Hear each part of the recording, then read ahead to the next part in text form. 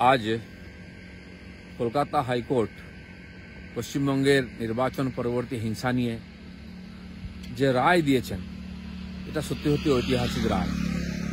পশ্চিমবাংলার সেই বিরোধী রাজনৈতিক কর্মীরা, বেশিরভাগই বিজেপির সঙ্গে যুক্ত, তারা যে অত্যাচার সহ্য করেছেন নির্বাচনের পরে, এরকম ঘটনা ভারতবর্ষ তথা বিশ্বের ইতিহাসে কম দেখা গেছে। একে আমরা তালিবানি রাজত্বের সঙ্গে তুলনা করতে পারি। দুর্ভাগ্যের বিষয়, এত হিংসা, মৃত্যু, মহিলাদের অত্যাচার হওয়া সত্ত্বেও এখানকার মুখ্যমন্ত্রী তাকে মানতে চাননি, অস্বীকার করেছেন, বলেছেন কিছুই হয়নি। আর তাই আমাদের কাছে কেবল আদালত ছাড়া কোনো রাস্তা ছিল না, ন্যায় পাওয়ার জন্য। তাই আমরা বাধ্য হয়ে আদালতের সঙ্গে সঙ্গে বিভিন্ন কমিশনে গেছিলাম। এবং আপনারা সবাই জানেন হিউম্যান রাইট কমিশনের টিম একাধিক জায়গায় গিয়ে সাধারণ অত্যাচারিত মানুষের সঙ্গে কথা বলে বাস্তব পরিস্থিতি বোঝার চেষ্টা করেছিলেন। তারা রিপোর্টও দিয়েছিলেন প্রায় নশো পাতার। সেটাকেও অস্বীকার করা হয়েছে এবং সেই টিম তাকে বিজেপির টিম বলা হয়েছে। বলা হয়েছে, তাদেরকে আমরা কোর্টে দাঁড় করাবো। মিথ্যা রিপোর্ট দিয়েছে। কিন্তু তারা সত্যি সত্যি এখানকার রাজনৈতিক নেতা, গুন্ডা এবং পুলিশের চরিত্রকে তুলে ধরেছিলেন, যেটাকে আজ স্বীকৃতি দিয়েছেন মহামান্য আদালত। তাই অত্যাচারিত হয়ে আমরা যখন আদালতে গেছি, তারা স্বীকার করেছেন যে ঘটনা, তথ্য চেয়েছেন, তথ্য আমরা দিয়েছি।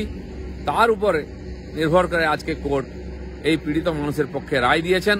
তাই মহামান্য উচ্চ আদালতকে আমি অভিনন্দন জানাই।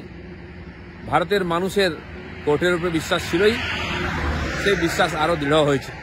ভারতের আদালত, সুপ্রিম কোর্ট, হাইকোর্ট এবং সংবিধানের উপরে মানুষের আস্থা বেড়ে গেল। খুবই চিন্তার বিষয়। যে জাজমেন্ট দিয়েছেন, আমরা আশা করেছিলাম সিবিআই ইনকোয়ারি হবে, যে মৃত্যু হয়েছে এবং মহিলাদের উপর অত্যাচার হয়েছে, তা নিয়ে সিবিআইয়ের আর ইনকোয়ারির আদেশ দিয়েছেন এবং অন্যান্য যা ভোট পরবর্তী হিংসা হয়েছে, সেটা দেখার জন্য এসআইটি গঠন করেছেন, গঠনের আদেশ দিয়েছেন, সেখানে আইপিএস অফিসাররা সদস্য হবেন, একজন এবং তিনজন বরিষ্ঠ আইপিএস অধিকারী তার নেতৃত্ব করবেন যাতে এটা ঠিকঠাক হয়। এবং পুরো ব্যবস্থা দেখার জন্য একজন সুপ্রিম কোর্টের রিটায়ার্ড জজকে নিয়োগ করা হবে, যিনি যাতে এটা ঠিকঠাক হয় সেটা দেখবেন এবং ছ সপ্তাহের মধ্যে এসআইটি এবং সিবিআইকে প্রাথমিক রিপোর্ট দিতে কোর্ট বলেছেন। এবং অক্টোবরে আবার এর উপরে শুনানি হবে যে প্রগতি কতটা হয়েছে। এই যে ঘটনা এবং তার সঙ্গে আরেকটি বিষয়, এই যে হাজার হাজার লোকের ক্ষয়ক্ষতি হয়েছে, সত্তর আশি হাজার লোক ঘর ছাড়া হয়েছেন, বাধ্য হয়েছেন, কেবল বিজেপি করার অপরাধে। এখনও বাড়ি ঢুকতে পারছেন না। তারা চাষের জমিতে চাষ করতে পারছেন না অত্যাচারের ভয়ে। তাদের যে ক্ষয়ক্ষতি হয়েছে, সরকারকে সেই ক্ষয়ক্ষতি পূরণ করার জন্য আদেশ দিয়েছেন মহামান্য আদালত এবং সেই ক্ষয়ক্ষতির যে পরিমাণ সেটা ব্যাংকের অ্যাকাউন্টে পাঠাতে হবে। এই আদেশ দিয়েছেন, যেটা সর্বৈব ঠিক হয়েছে। আপনারা দেখতে পাচ্ছেন, পাঁচশো টাকার জন্য দুয়ারে সরকারের নাম করে হাজার হাজার লোককে জমা করা হচ্ছে। কোভিড বিধি না মেনে এবং তাতে বহু মানুষ চাপা পড়ে মারা যাচ্ছেন কেবল রাজনীতির কারণে।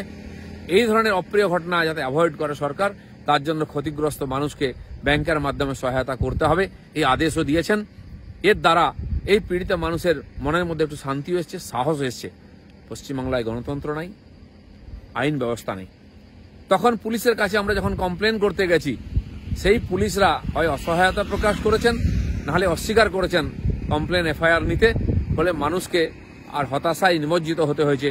আজকে সেই হতাশা কাটিয়ে ওঠার জন্য একটি রাস্তা আদালত দিয়েছেন। আমি আশা করব, যারা অত্যাচারিত হয়েছিলেন, তারা এখন সুবিচার পাবেন এবং বাংলায় গণতন্ত্র প্রতিষ্ঠা হবে। রাজনৈতিক অধিকার ফিরে পাবেন বিরোধী সমস্ত কর্মীরা। এর জন্য আমি যারা সহযোগিতা করেছেন, সমস্ত উকিল, সমাজের বিভিন্ন মানুষ এই তথ্য দিয়েছেন, তাদের সবাইকে ধন্যবাদ জানাচ্ছি।